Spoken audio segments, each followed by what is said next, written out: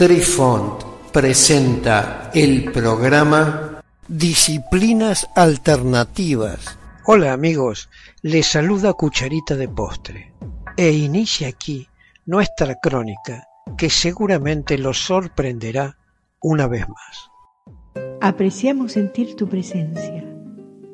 Comunícate con nosotros. Hazlo, Hazlo. vía Twitter en arroba trifón guion bajo media. Hola, soy Besitos de Sol. En el programa de hoy escucharemos... Y después que la muerte y los rebrotados, una experiencia de muerte. La investigación espiritual ha demostrado que el hombre se compone de los siguientes seis cuerpos o zonas básicas. Alma, el Dios que todo ser humano lleva dentro, cuerpo causal o intelectual, que implica el proceso de toma de decisiones y capacidad de razonamiento, cuerpo físico, que comprende los cinco sentidos, gusto, oído, olfato, tacto y vista, cuerpo vital, incluye la energía vital del cuerpo, ego supracausal o sutil, es el sentimiento de que estamos separados de Dios. Mente, abarca los sentimientos, emociones y deseos. Cuando una persona muere, el cuerpo físico deja de existir, y por ende también lo hace el cuerpo vital. Sin embargo, el resto de la existencia o conciencia continúa. La existencia de la persona comprende a las otras zonas o cuerpos de un individuo a saber, el alma, el intelecto, el ego y la mente. En la otra vida, este cuerpo sutil pasa a uno de los catorce planos sutiles de existencia distintos al plano de la Tierra.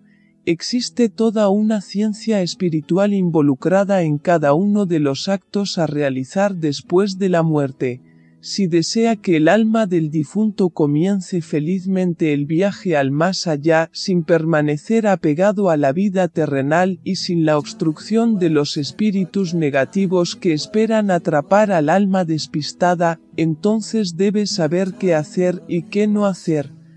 Los innumerables casos registrados e investigados de experiencias de vidas pasadas que explicamos en nuestra temporada titulada y antes que, apuntan claramente a la vida después de la muerte. Varias instituciones han realizado investigaciones sobre la vida después de la muerte, experiencias cercanas a la muerte o sobre la conciencia después de la muerte, encontrando pruebas de que la vida continúa después de la muerte. Han existido muchos casos de experiencias cercanas a la muerte en las que las personas han tenido un encuentro con la otra vida, como ver la luz o conocer a sus seres queridos que fallecieron. En todos los casos registrados de reencarnaciones, también se encontró que después de la muerte y antes del próximo nacimiento en la Tierra, había un desfase de tiempo variable entonces sería lícito formularse los siguientes interrogantes. ¿A dónde vamos después de la muerte y hasta nuestra reencarnación en la Tierra? ¿Cómo es la vida en el más allá? ¿Cuáles son los factores que deciden a dónde vamos después de la muerte? ¿Existe un solo plano de existencia o hay una variedad de planos de existencia? En esta temporada analizamos las respuestas a estas y otras preguntas sobre la vida después de la muerte.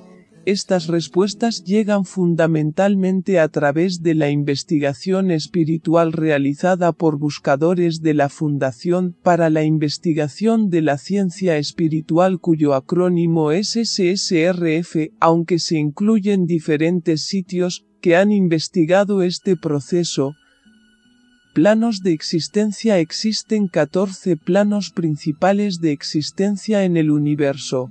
Siete de ellos son positivos y siete son negativos. Hay numerosos subplanos dentro de estos planos principales. Siete planos positivos ocupados principalmente por personas vivas y cuerpos sutiles después de la muerte que realizan acciones correctas dedicándose a la práctica espiritual de acuerdo con el camino positivo de la práctica espiritual. También se les conoce como las siete regiones positivas o Saptalok. Por camino positivo, nos referimos a que la orientación de la práctica espiritual es hacia la realización de Dios, que es lo último en crecimiento espiritual. El plano de la Tierra es el único plano físico de existencia en el universo y también es el primero en la jerarquía de los planos positivos del universo. Siete planos negativos. Estos están ocupados principalmente por cuerpos sutiles después de la muerte que han cometido actos injustos y se dedican a la práctica espiritual de acuerdo con el camino negativo. Por camino negativo, queremos englobar la deficiente orientación de la práctica espiritual es alcanzar el poder espiritual, por ejemplo, poderes sobrenaturales. Este poder espiritual se usa principalmente para mejorar el control de unos sobre los demás o con propósitos negativos. Así, todos los cuerpos sutiles que van a cualquiera de los planos de existencia del infierno, en virtud de sus malas intenciones, se convierten en fantasmas. Queridos amigos, los esperamos en nuestro próximo encuentro con un nuevo artículo que estamos seguros será de vuestro interés. Un cálido abrazo para todos. Adiós. Apreciamos sentir tu presencia. Comunícate con nosotros. Hazlo, Hazlo. vía Twitter en arroba trifón-media.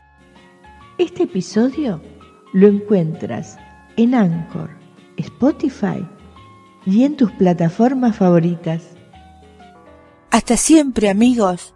Besitos de sol y cucharita de postre les dicen gracias por pensar.